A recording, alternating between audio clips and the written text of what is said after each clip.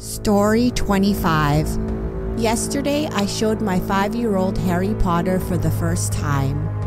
Today, I found the broom missing and the living room window of our 10 story apartment wide open.